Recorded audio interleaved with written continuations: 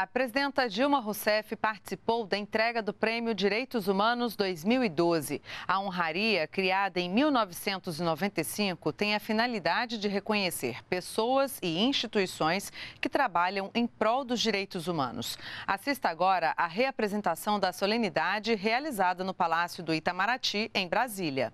Dando início a esta cerimônia, ouviremos o hino nacional brasileiro interpretado pela cantora a embaixadora da campanha de enfrentamento à violência sexual contra crianças e adolescentes, Fafá de Belém, acompanhada do pianista Ezequiel Costa e da violinista Vera Tomé.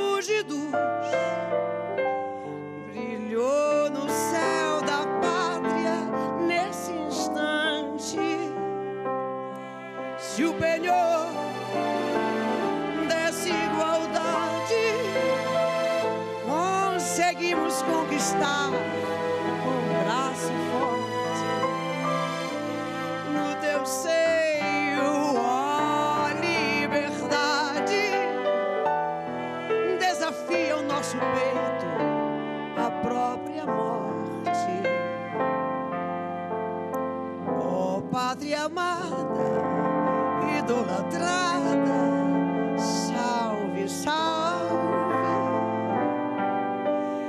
Brasil.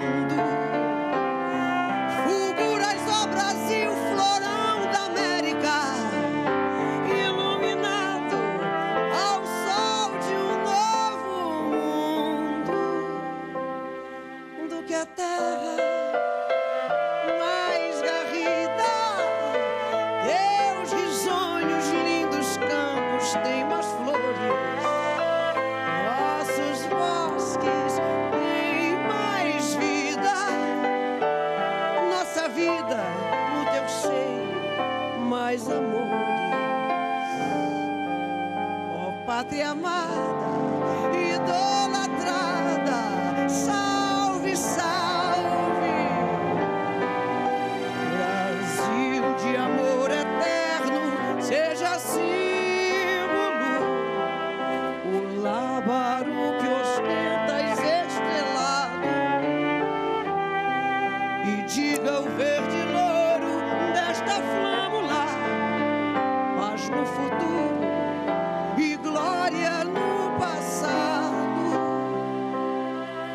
o filho teu não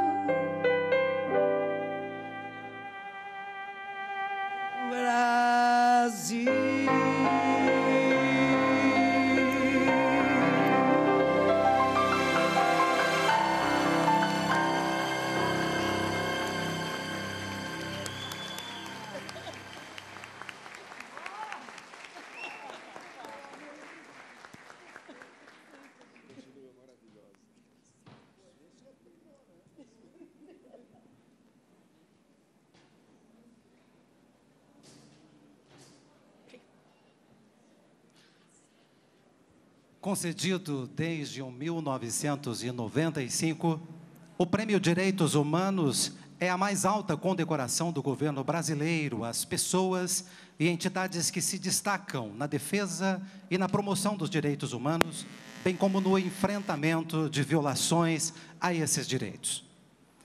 Neste ano de 2012, serão contempladas 15 categorias temáticas, além de duas homenagens especiais e uma menção honrosa. O troféu desta edição é uma concepção do artista plástico Elifaz Andreato e representa uma mãe carregando o seu filho. A escultura é intitulada Maternidade. A obra baseia-se no entendimento do artista de que são as mães as maiores responsáveis pela proteção e cuidado dos filhos. O momento de premiação de pessoas em instituições contempladas com o Prêmio Direitos Humanos é também uma oportunidade de relembrar as grandes vitórias dos direitos humanos no Brasil.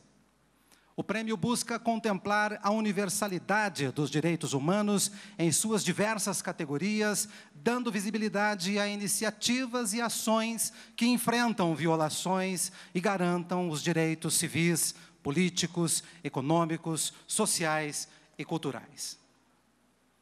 Daremos início neste momento à entrega da premiação da 18ª edição do Prêmio de Direitos Humanos.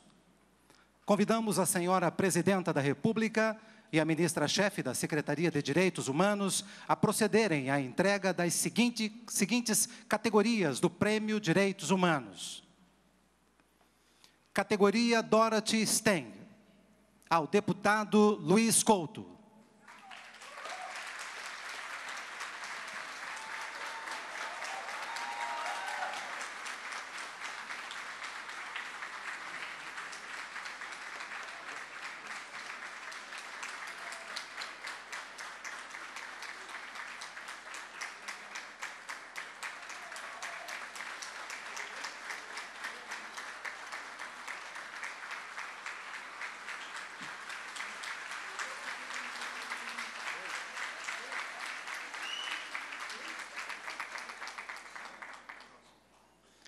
Categoria Educação em Direitos Humanos.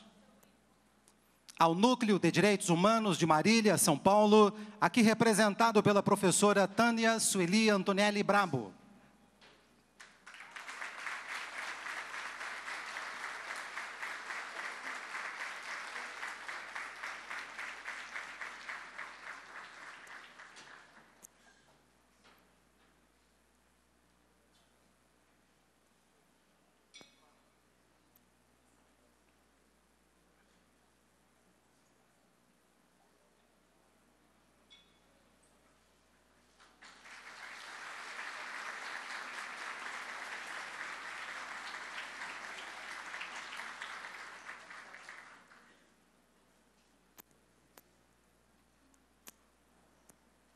Categoria Mídia e Direitos Humanos.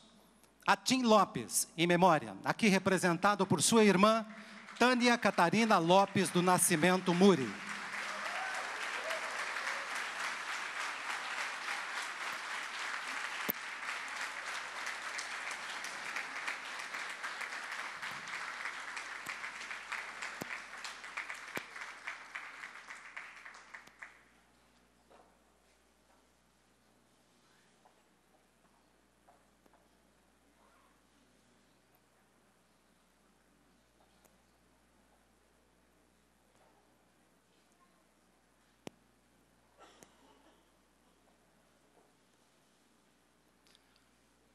Categoria de Centros de Referências em Direitos Humanos. Ao Movimento das Mães da Cinelândia, Rio de Janeiro. Aqui representado pela senhora Regina Célia da Rocha Maia.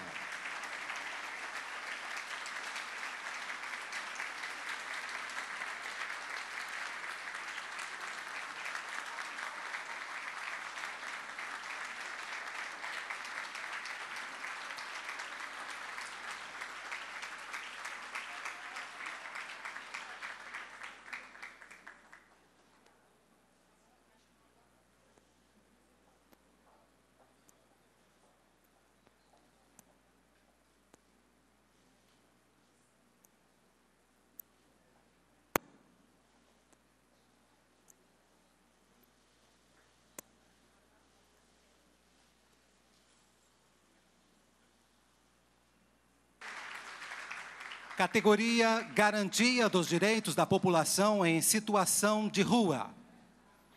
Ao Núcleo Especializado de Cidadania e Direitos Humanos da Defensoria de São Paulo, aqui representado pelo defensor público Carlos Veis.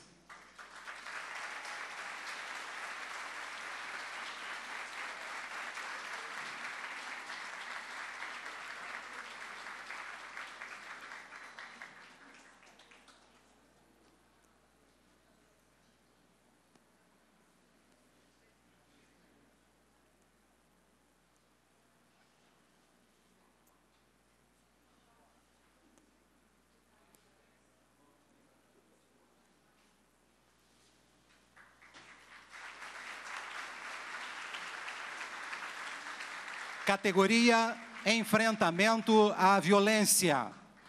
A senhora Valdênia Aparecida Paulino Lanfranchi, do estado da Paraíba.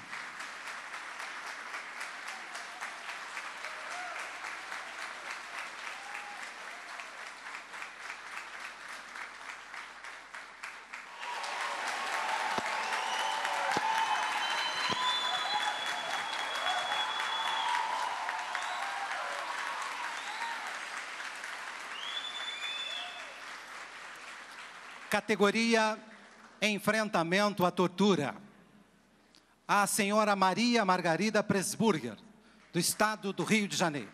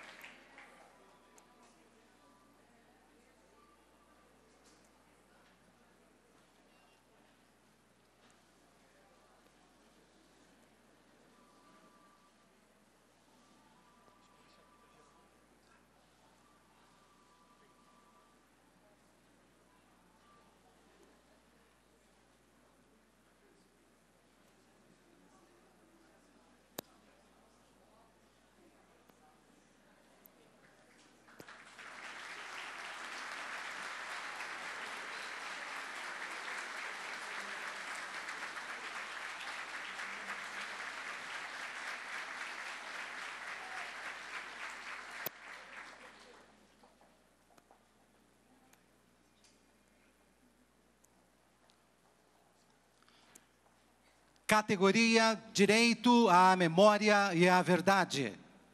Ao Centro de Defesa dos Direitos Humanos, Grupo Ação, Justiça e Paz de Petrópolis, Estado do Rio de Janeiro. Aqui representado pelo professor Leonardo Boff.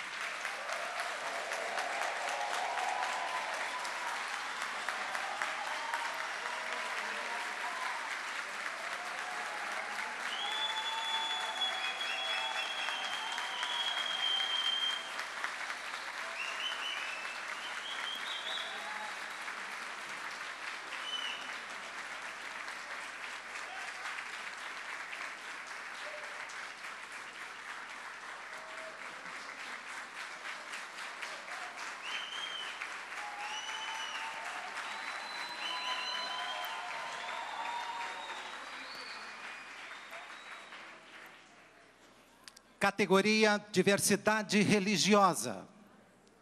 Ao pastor Djalma Rosa Torres, do estado da Bahia.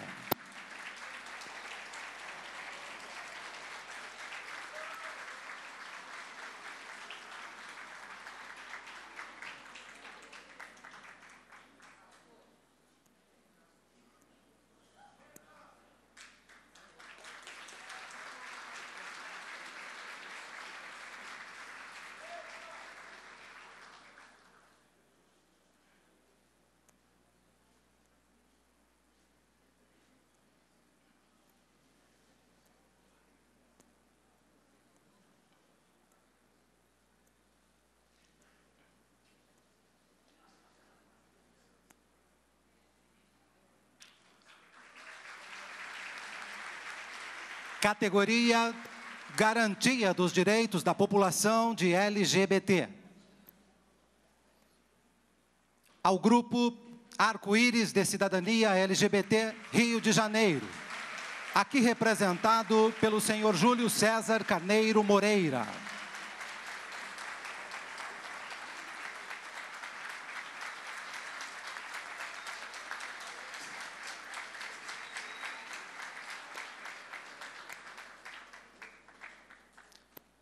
Categoria Santa Quitéria do Maranhão.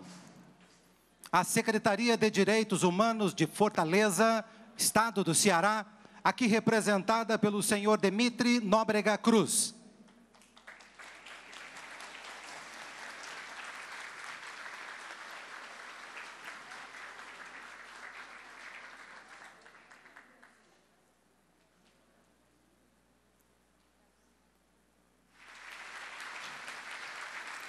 Categoria Erradicação do Trabalho Escravo.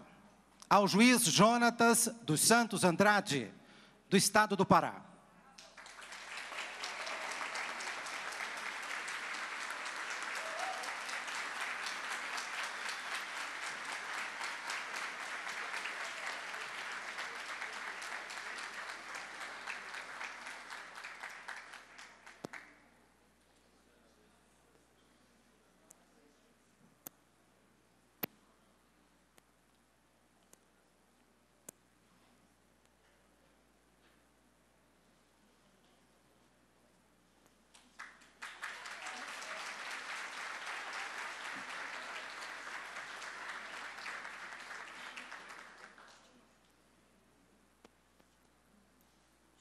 Categoria Garantia dos Direitos da Criança e do Adolescente.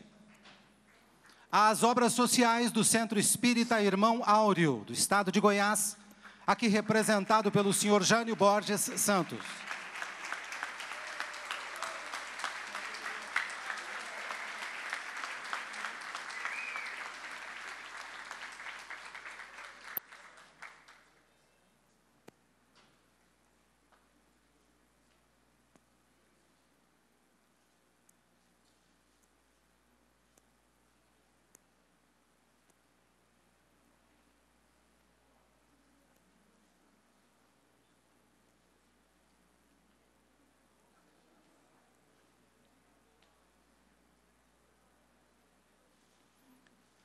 Categoria Garantia dos Direitos da Pessoa Idosa.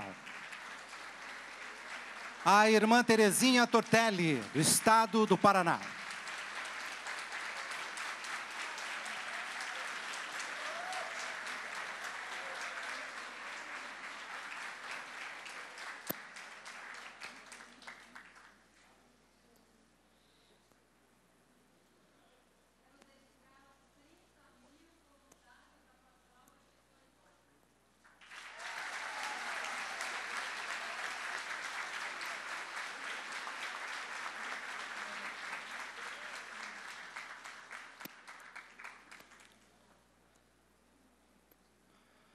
Categoria Garantia dos Direitos das Pessoas com Deficiência.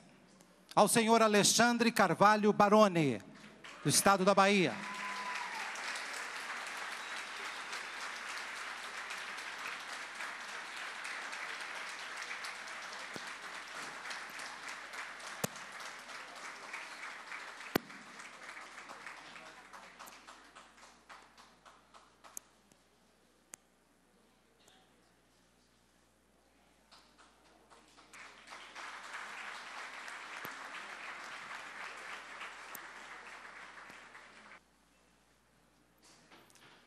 Categoria Homenagem Especial a Dom Tomás Balduino.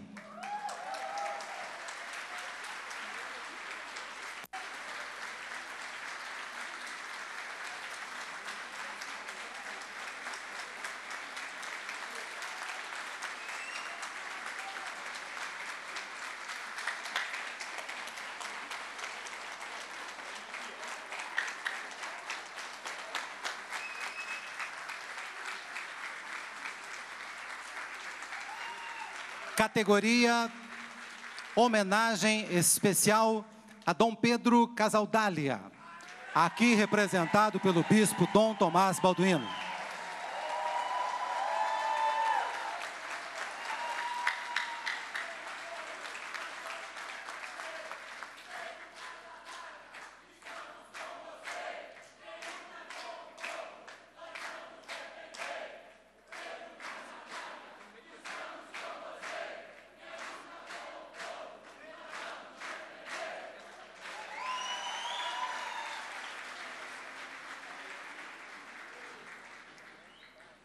Menção honrosa, Prêmio Direitos Humanos 2012. Ao Levante Popular da Juventude, aqui representado pela senhora Thaís Santos Carvalho.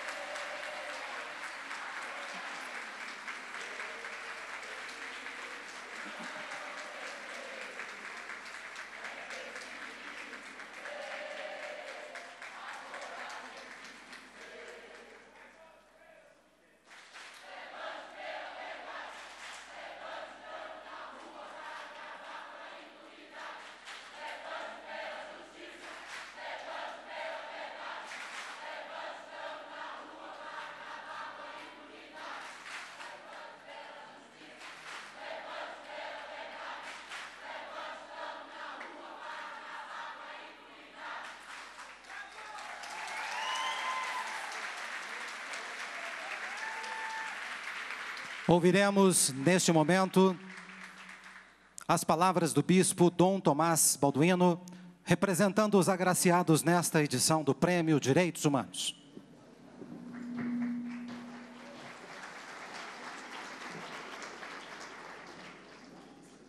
Excelentíssima senhora Dilma Rousseff, presidente da República, senhora ministra Maria do Rosário, da Secretaria dos Direitos Humanos, ministro Gilberto Carvalho, seus, ministros, ministras, desculpe não nomear, porque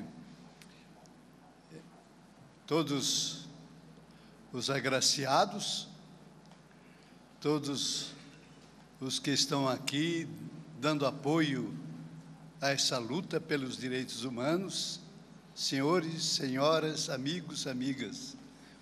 Foi de última hora que eu recebi essa incumbência aqui de é, falar em nome de todos os agraciados. Quem sou eu? Diante de todo esse leque de atividades heróicas, audazes, lúcidas e bem atuais com relação à luta pelos direitos humanos. Queria é, agradecer esse empenho da ministra Maria do Rosário, tão simpática, tão por dentro, é, fiquei conhecendo agora, e, mas já conhecia assim, a caminhada uma bênção para nosso país. Graças a ela, nós temos esse ambiente aqui e essa diversidade, essa pluralidade e essa liberdade também.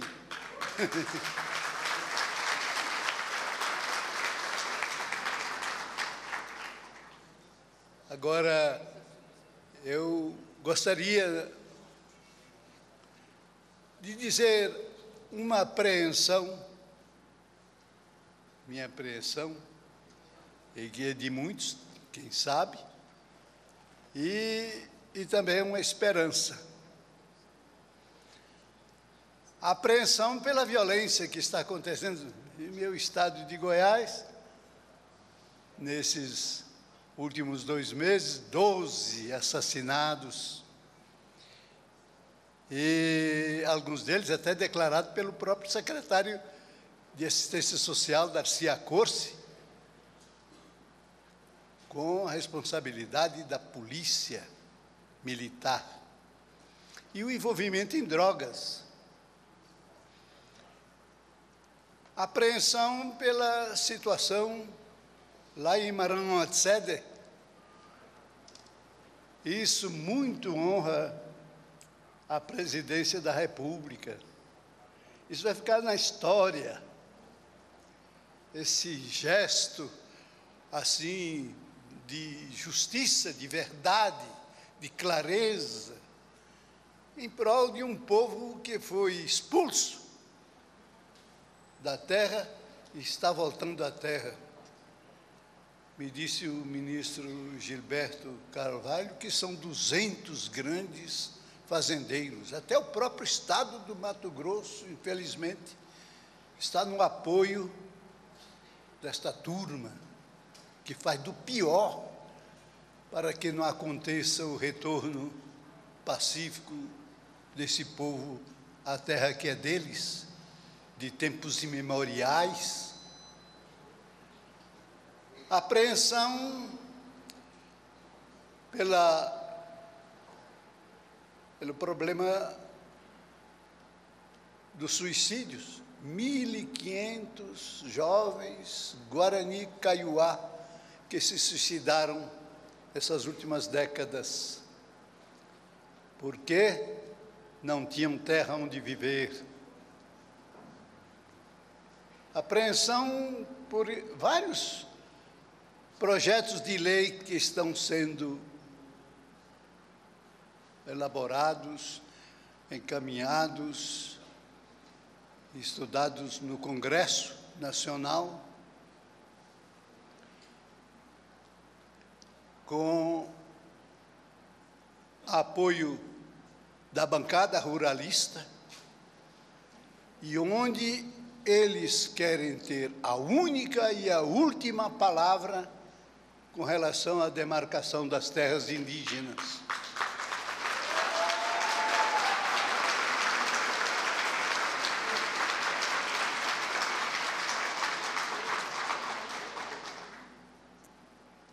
Pessoal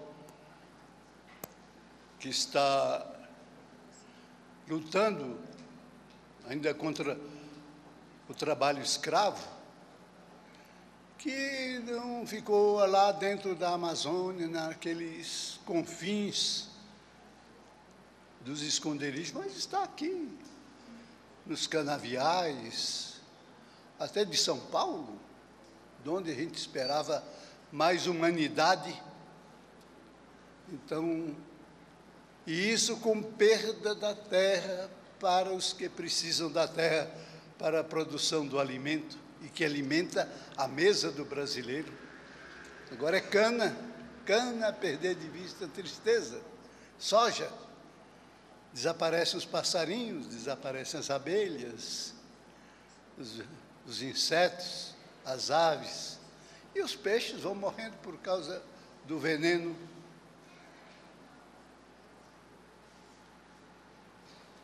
Mas não é só, não é só apreensão, é também esperança. Os índios avacanoeiro, que foram inúmeras vezes expulsos, estão aqui no Tocantins, na região da Serra da Mesa.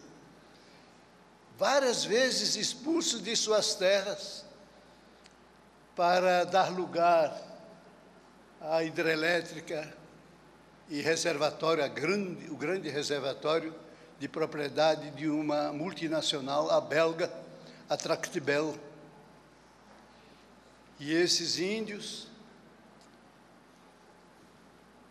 desses índios, nasceu um índio. em novembro passado, nasceu Pantiô. Fazia 22 anos que não nascia uma criança naquela etnia. E um povo destinado à extinção, à morte.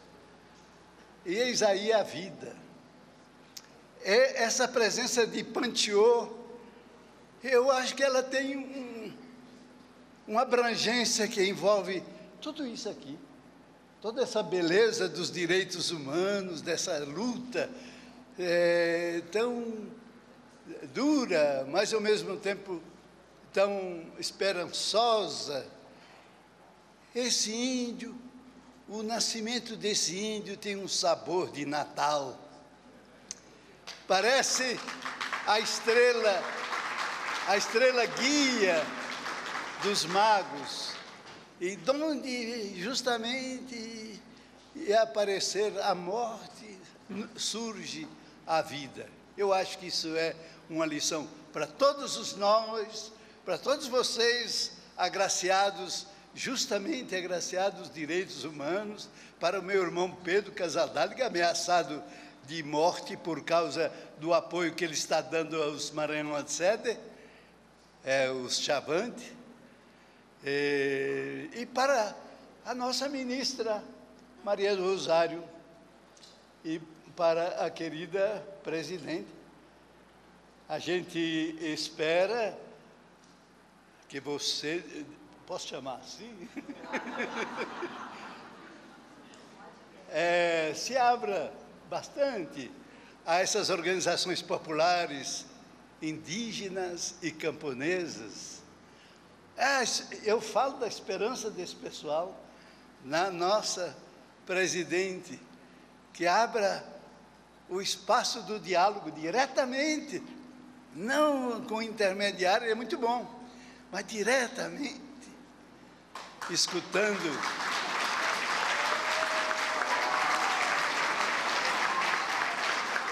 Escutando essa gente. E, e a reforma agrária, né? Não poderia. Aí, o MST está falando. Já. Essa estrela guia, essa estrela de Natal, essa é a nossa esperança e que Deus nos abençoe.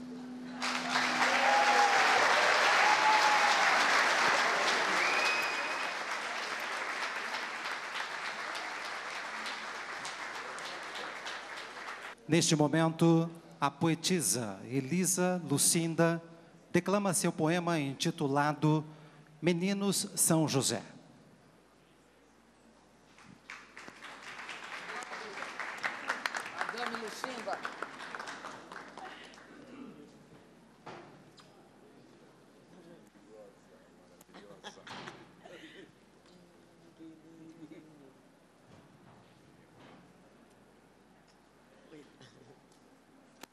Bom, boa tarde. Eu tenho como, eu sou uma pessoa muito tradicional, tenho como tradição quebrar o protocolo. Então, eu queria falar uma coisinha antes de falar meu poema, que eu queria parabenizar, eu me sinto muito orgulhosa por ter essa presidenta, por ter a Maria do Rosário, por ter esse país, esse país dando essa cobertura aos direitos humanos, que é uma cobertura por todos os, os, os, setores. É uma coisa difícil de fazer numa nação desse tamanho, né, com tamanhos continentais. E é, o que eu queria chamar a atenção é que essa questão da criança e do adolescente é uma questão de todos nós. São 50 milhões, são 50 milhões de deprimidos no mundo. Alguma coisa nós estamos fazendo errado. A gente está criando meninos que, quando crescem, recebem o não da mulher e matam essa mulher. A gente está criando gente que violenta menino.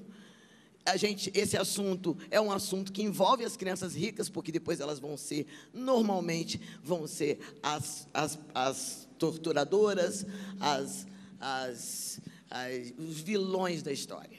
E essa criança não sai no jornal, não está na estatística. Essa criança vai para Londres, essa criança vai para um internato, essa criança abafa o caso. Né? Então, é, essa, esse assunto da criança atravessa a sociedade.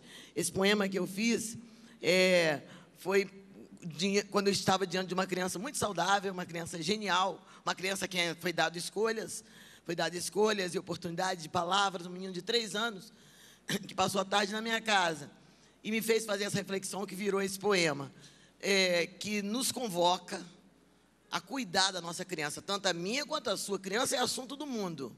Criança é nação, vai ser sempre nação. É próxima, nós estamos cuidando do refil da humanidade. A próxima leva de presidentes e operários e médicos está hoje sob nossos cuidados. Então, o serviço que a gente faz agora vai refletir daqui a pouco.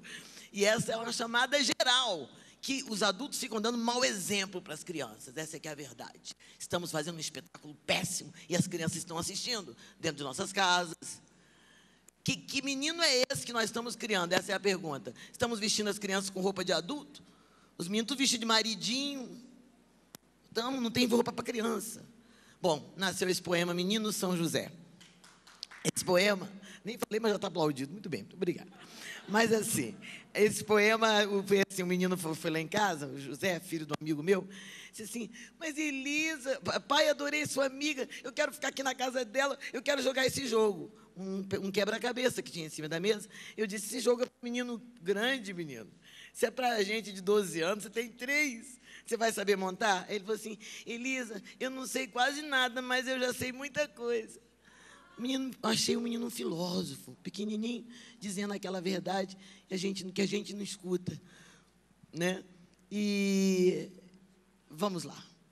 Toda criança me arrebata. Toda criança só por me olhar, me arregaça as mangas do amor e desse amor morro de emoção.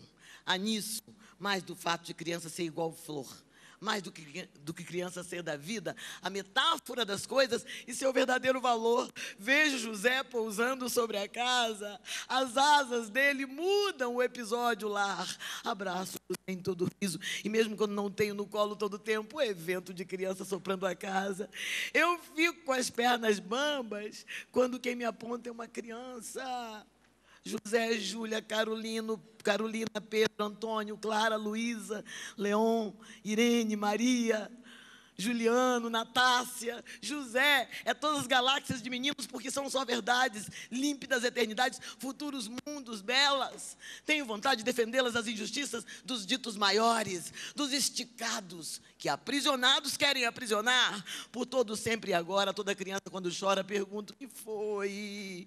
Quem não te tratou direito? Toda criança quando chora, eu acho que me diz respeito quero as palavras delas, quero a nitidez sublime das conversas delirantes e sábias, quero os descobrimentos que fazem, que trazem em sua transparência natural. José voa na casa e eu pulso no ventre como uma grávida perene, meu Deus.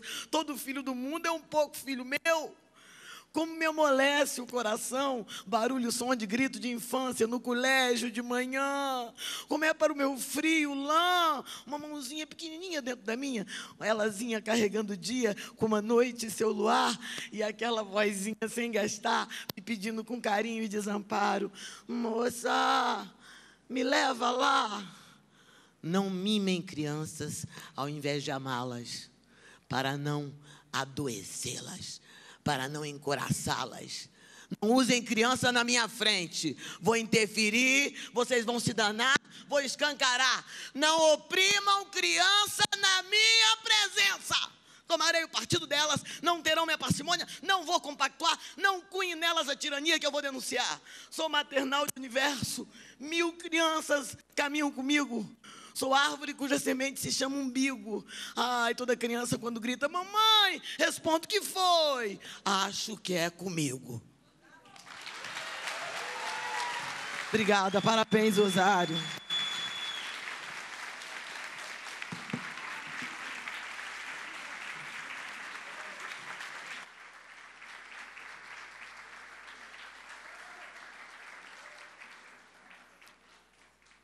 Ouviremos a seguir as palavras da ministra-chefe da Secretaria de Direitos Humanos da Presidência da República, Maria do Rosário.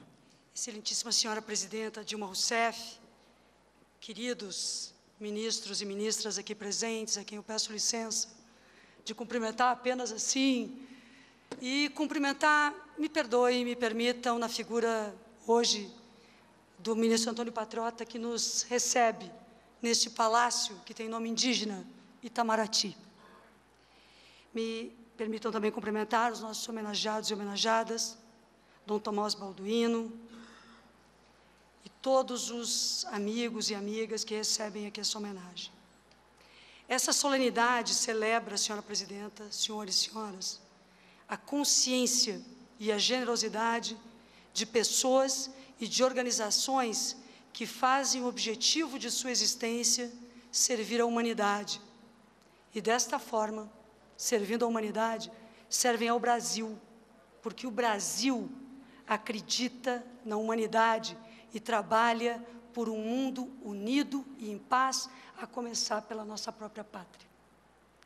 O Prêmio Nacional de Direitos Humanos, organizado pela Secretaria de Direitos Humanos, com apoio da sociedade brasileira, é conferido pela Presidência da República em reconhecimento do governo brasileiro, como reconhecimento do governo brasileiro ao trabalho de todos e todas vocês, homenageados nessa 18ª edição meu caro Neumar Miranda, nosso ex-ministro, capitaneou também processos tão belos de escolha no nosso país.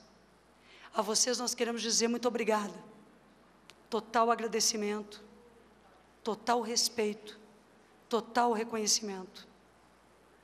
Mas especialmente, eu quero dizer a vocês que ao entregarmos este prêmio nas mãos de vocês, essa peça produzida por Elifas Andreato, ao estarmos ao lado da presidenta da República, ao estarmos com gestores, com artistas e principalmente com defensores de direitos humanos, meu amigo Domingos Dutra, nós estamos reconhecendo o gesto e a ação de vocês e homenageando a todos os brasileiros e brasileiras a partir da referência de vida como defensores de direitos humanos que vocês são pelo amor ao outro, pelo amor às pessoas, pelo espírito de doação coerente em tudo, com as ideias de suprema dedicação à nação e à democracia que vocês desenvolveram ao longo de tanto tempo das suas vidas.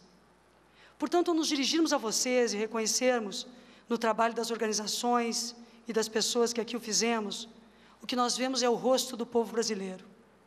Ao nosso povo, nos dirigimos com sentimento de orgulho imenso e renovado todos os dias, porque em cada lugar do Brasil, nesse nosso gigante e maravilhoso país, no interior, com as gentes do campo, nas grandes cidades, nas comunidades quilombolas ou indígenas, em todas as etnias, com os jovens que nascem, com os idosos que nos ensinam, com a força das mulheres, ministra Eleonora, na diversidade étnica e racial, na orientação sexual, junto às pessoas com deficiência, em diferentes culturas.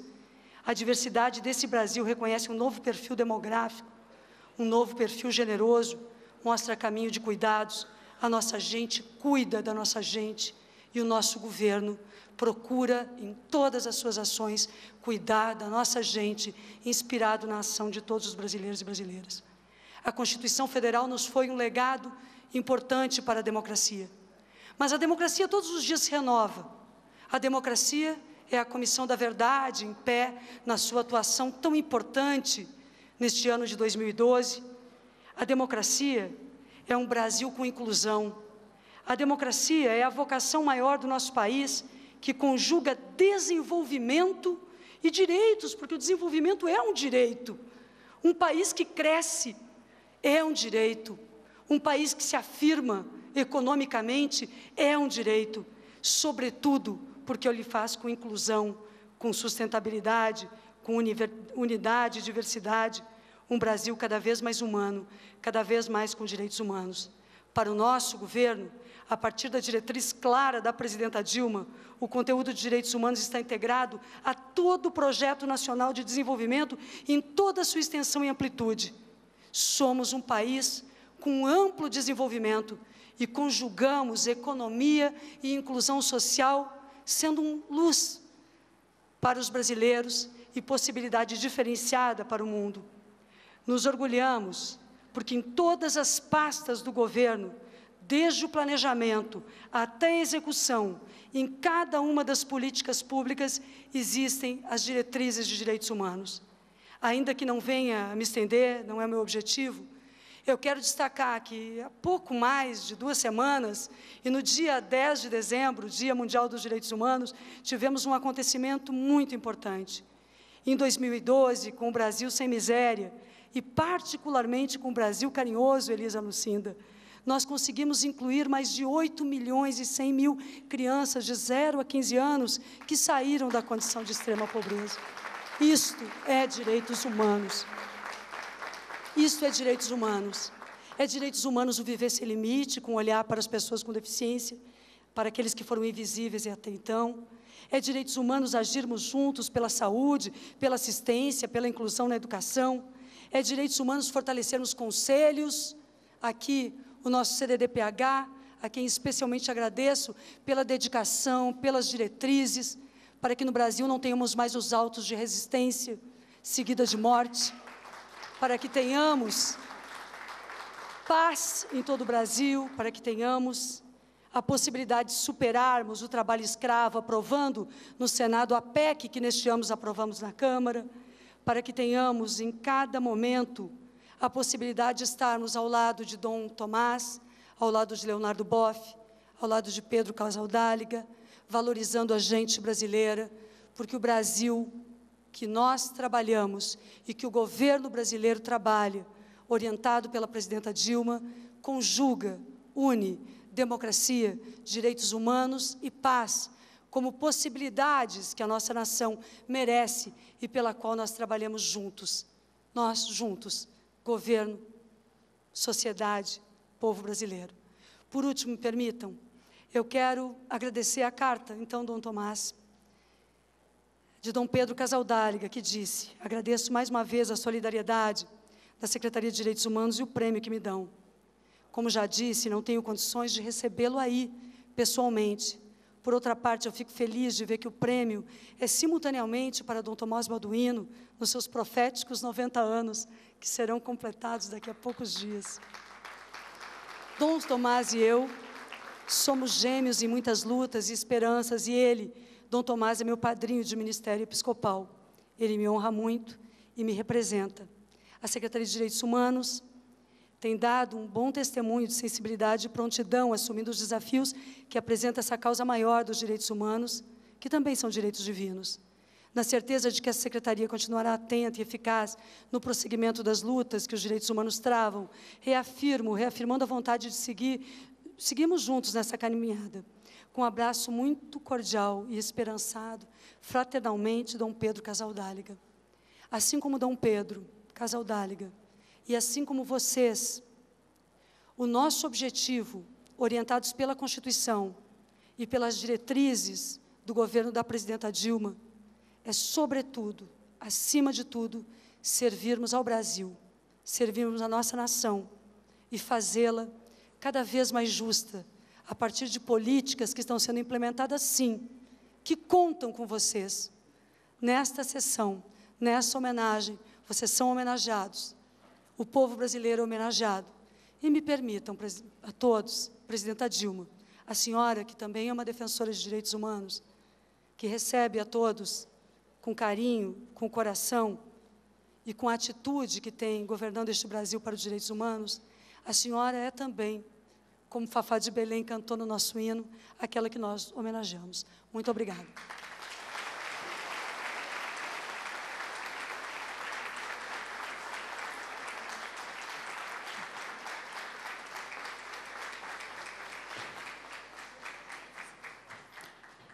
Com a palavra, a senhora presidenta da República.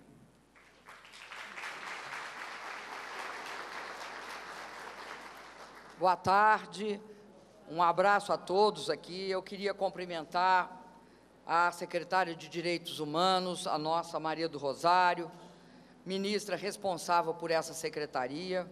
Queria cumprimentar também o patriota, Antônio Patriota das Relações Exteriores, o nosso querido Gilberto Carvalho, da Secretaria-Geral da Presidência da República, o general José Lito Siqueira, do Gabinete de Segurança Institucional, a nossa Eleonora Menicucci, secretária de Políticas para as Mulheres, Helena Chagas, da Secretaria de Comunicação Social. Dirigi um cumprimento todo especial ao Nilmário Miranda, ex-ministro do presidente Lula de Direitos Humanos. Cumprimentar o deputado Domingos Dutra, presidente da Comissão de Direitos Humanos da Câmara dos Deputados. Cumprimentar o deputado Luiz Couto e dirigir um cumprimento especial a Dom Tomás Balduino, bispo emérito da cidade de Goiás, por meio de, dos quais, do qual eu cumprimento todos os agraciados com o 18º Prêmio de Direitos Humanos. Queria cumprimentar também meus queridos Chico César, Fafá de Belém, Margarete Menezes e Elisa, e Elisa Lucinda. Parabéns para eles. Cumprimentar também as senhoras, os senhores, todos os companheiros e as companheiras envolvidos nesta questão fundamental da defesa dos direitos humanos. Cumprimentar os senhores jornalistas, os senhores fotógrafos, os senhores cinegrafistas. É para mim uma grande honra participar mais uma vez da entrega deste prêmio. Essa cerimônia é para mim uma oportunidade para que todos nós reverenciemos bravos e bravas batalhadores e batalhadoras da causa dos direitos humanos no Brasil. Para homenagear pessoas, lutadores, mas também para homenagear instituições, movimentos e ações que mostram a importância dessa luta e mostram também a, dedicação dessas pessoas que muitas vezes arriscam suas vidas em defesa dos direitos humanos. Este ano, o nosso prêmio reconhece o trabalho de 17 pessoas e instituições. Como eu disse, são ações individuais e ações coletivas que nós temos o dever de reconhecer e obviamente, fazer com que todos os brasileiros, por, esse, por essa cerimônia também, agradeçam a eles, a cada um. Faço questão, por isso, de citar um por um. Luiz Couto, Valdênia Aparecida, Paulino Lanfranchi, Maria Margarida Presburger, Pastor Djalma Rosa Torres, Jonatas Andrade, Irmã Terezinha Tortelli, Alexandre Carvalho Baroni, Tim Lopes, a Secretaria de Direitos Humanos da Prefeitura de Fortaleza, o Grupo Arco-Íris de Cidadania LGBT, as obras sociais do Centro Espírita Irmão Áureo, o Centro de Defesa dos Direitos Humanos, Grupo Ação Justiça e Paz de Petrópolis, meu querido Boff, o Núcleo Especializado de Cidadania e Direitos Humanos da Defensoria Pública do Estado de São Paulo, o Movimento Mães da Cinelândia, o Núcleo de Direitos Humanos e Cidadania de Marília. Devo citar também os dois homenageados especiais deste ano. O Bispo Emérito de São Félix do Araguaia, Dom Pedro Casaldáliga, e o nosso querido bispo emérito de Goiás, Dom Tomás Balduino. Dois homens que o Brasil inteiro aprendeu a admirar e dos quais eu me orgulho de ser contemporânea.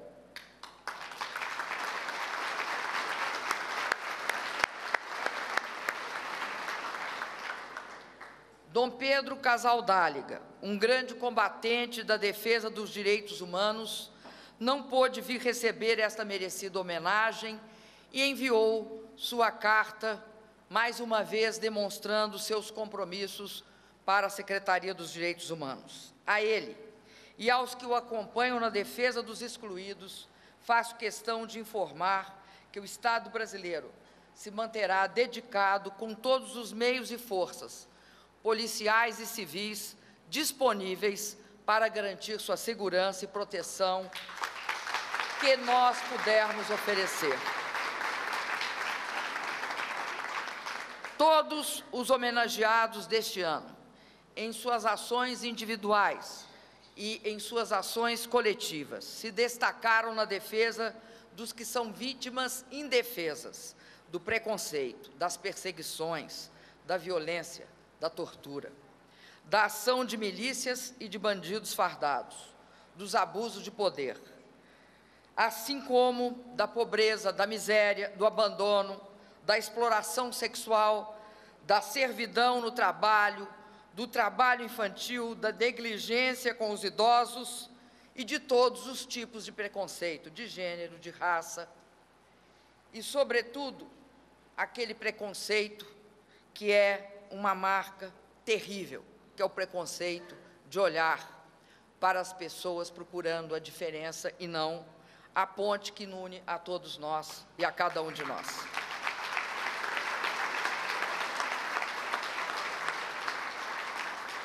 Essa cerimônia, ela é muito importante, porque os premiados aqui dão voz aos que não têm voz. Falam por aqueles que ninguém defende. Agem pelos que não têm poder. Vocês atuam contra aquilo que uma sociedade tem de pior mesmo as sociedades formalmente democráticas ou as sociedades que buscam sempre aprimorar a democracia. Vocês lutam pela redução das desigualdades. Vocês lutam contra as injustiças para tornar o nosso mundo, o mundo de cada um de nós, muito melhor e cada vez melhor. Um mundo, de fato, em que o que nos caracteriza é ser um mundo habitado por pessoas que se compreendem e se respeitam. A ação de vocês salva vidas e redime, sem sombra de dúvida, a todos nós. A defesa e a proteção dos mais frágeis também é dever do Estado democrático. O Estado deve destinar seus recursos e seus esforços para oferecer a toda a população serviços públicos essenciais de qualidade, sobretudo segurança, saúde, educação e oportunidades. Mas o Estado deve dedicar sua maior atenção aos vulneráveis, aos excluídos e às minorias, aos, aos que são objeto de preconceito aos que são, tratado, são tratados sem levar em consideração o pleno potencial do seu desenvolvimento. Agindo assim, o Estado não só defende, mas também pratica o respeito aos direitos humanos. E isso não se conquista de uma vez por todas, isso só se pratica todos os dias.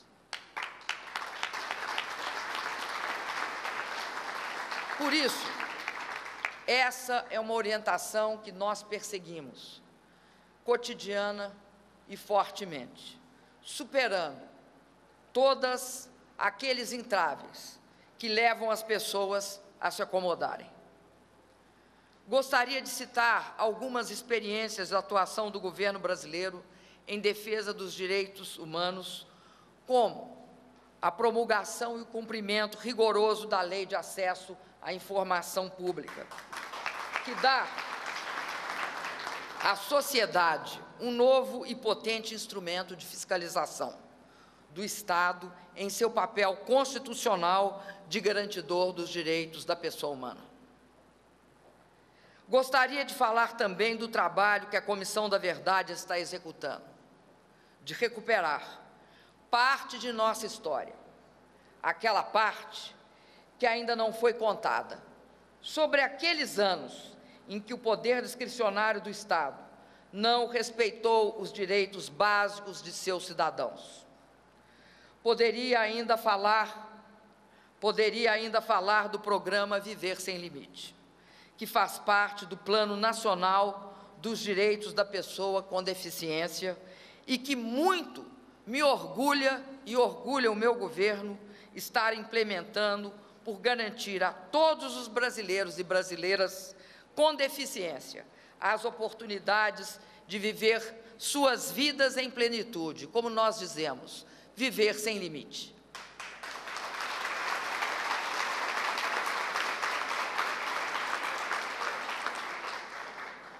Mas quero destacar uma ação já mencionada pela ministra Maria do Rosário, do nosso governo, que simboliza perfeitamente a nossa grande preocupação com os direitos humanos. Estou falando de um programa chamado Brasil Carinhoso, porque ele diz respeito a crianças, às crianças e aos jovens. Brasil Carinhoso, que é um programa que dá continuidade ao Bolsa Família, programa que o nosso ex-presidente Lula implantou no Brasil e que integra o que nós chamamos Brasil sem miséria, que é o nosso compromisso de superar a miséria extrema no Brasil. O Brasil Carinhoso começou a ser implantado em junho de 2012 portanto, há cerca de seis meses. Em num espaço curto de tempo, nós completamos e fizemos a segunda fase há alguns dias atrás. E esse programa colocou o Brasil num outro patamar de civilidade, porque ele trata, sobretudo, de atingir aquela parcela da população que, além de representar o nosso futuro, representa também o nosso compromisso com o presente. Nós criamos esse programa porque nós avaliamos, os dados são esses, são dados muito chocantes, que das pessoas que viviam em situação de extrema pobreza no Brasil, 42% tinham menos de 15 anos. E não há atentado maior aos direitos humanos do que a destruição do futuro das crianças pobres de um país, que tem seu futuro comprometido porque teve ocorreu, teve um infortúnio de nascer numa família pobre. Isso é a exacerbação da miséria, é a pobreza e o abandono levados ao máximo, ao paroxismo. Por isso, nós criamos o Brasil Carinhoso. E o foco era esse. Como que nós tiramos da pobreza uma criança de 0 a 15, uma criança de 1, de 2, enfim, de 5, de 7 até 15 anos, que tem menos menos capacidade de se mobilizar, de se manifestar, de se organizar e de reivindicar. Por isso, quando nós iniciamos a primeira fase, há pouco mais de cinco meses, nós definimos que o método só tem um jeito de tirar criança e jovem da pobreza extrema: é tirando suas famílias. Portanto, qual é a forma que o Brasil Carinhoso age? É o seguinte: nós complementamos a renda de todas as famílias com crianças de idades de 0 a 15 anos. Na primeira fase foi até a 6, agora nós complementamos para 7 a 15. Então, de 0 a 15 anos, nós garantimos para todas as pessoas daquela família, todas, uma renda per capita mínima de 70 reais. Com isso, nós conseguimos, primeiro, tirar 9 milhões e 100 mil brasileiros na primeira fase. Agora, na segunda, nós tiramos mais 7 milhões e 300 mil. Para vocês terem uma ideia, na primeira fase nós tiramos 2 milhões e 800 mil crianças entre 0 e 6 anos da pobreza. E na segunda fase nós complementamos de tal forma que chegamos às 16 milhões e 400 mil crianças. Esse é o programa para mim, mais importante do meu governo e o meu grande compromisso. Porque esses resultados, em tão curto espaço de tempo, não podem nos tornar é, não pode nos tornar descansados diante do desafio, porque isso é o primeiro etapa. A segunda etapa é educação. Adulto a gente tira da pobreza através do emprego, do trabalho, da formação profissional, mas fundamentalmente através do emprego. Criança só tem um jeito: criança é através da educação. Criança e jovem é através da educação.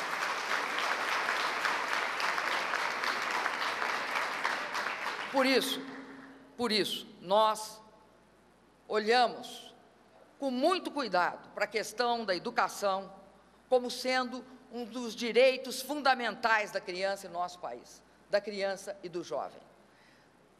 Creches, alfabetização na idade certa, escola em tempo integral. Essas, essa, essa tríade é um instrumento pelo qual nós mudaremos, em definitivo, o Brasil de uma sociedade emergente em desenvolvimento para uma sociedade e uma nação desenvolvida. Porque é esse o patrimônio que todas as crianças brasileiras têm o direito. O direito da pessoa humana de ter. Por isso, eu queria dizer para os senhores que, além disso, eu me sinto também muito satisfeita de estar aqui, porque a luta pelos direitos humanos é um assunto muito importante para mim e para a minha geração. Foi importante na minha vida política e marcou a minha vida pessoal. Esse assunto, além de ser importante racionalmente, ele me comove, porque a minha geração sentiu na carne o abuso de poder, a, truculência do Estado e sabe perfeitamente como é importante, fundamental, o respeito pelos direitos humanos. E mais do que isso, sabe que esse é o pilar fundamental de uma sociedade democrática. Não existe nada mais importante do que os seres humanos em qualquer esfera da nossa atividade. Por isso, meus queridos homenageados, eu, eu me sinto muito mobilizada e muito motivada diante da luta de vocês, porque eu me sinto à vontade para propor, com essa premiação mais que justa, uma coisa que eu acredito que é fundamental, que todos nós desse país imenso, de 190 milhões de brasileiros e brasileiras, tenhamos por todos vocês. É um desejo que eu tenho, a mesma admiração que eu tenho. Sei que a luta de vocês é difícil, sei que impõe sacrifícios, sei que às vezes é incompreendida, e sei que nem sempre é conhecida ou reconhecida, e também muitas vezes não é apoiada. Sei que em muitos momentos cada um de vocês se sente só, pode se sentir sem apoio como se estivesse enfrentando moinhos de vento intransponíveis. Mas esse prêmio e essa homenagem servem para dizer duas coisas. Primeiro, que vocês não estão só. Segundo, que vocês conseguiram. Que até aqui vocês conseguiram, vocês tiveram sucesso, vocês foram vitoriosos. E como a gente a cada dia tem de lutar novamente, eu desejo para vocês uma boa luta. E também desejo que vocês saibam que nós todos temos admiração e apoiamos essa luta que vocês travam. Para nós, vocês são exemplos. Parabéns e obrigado por serem quem vocês são.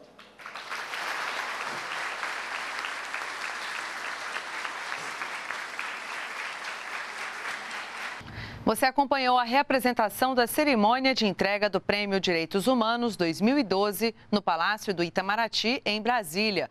A solenidade teve a presença da presidenta Dilma Rousseff e outras autoridades. O prêmio, criado em 1995, tem a finalidade de reconhecer pessoas e instituições que trabalham em prol dos direitos humanos, contribuindo para a disseminação de uma cultura de tolerância e valorização da diversidade. Continue na NBR a TV do Governo Federal.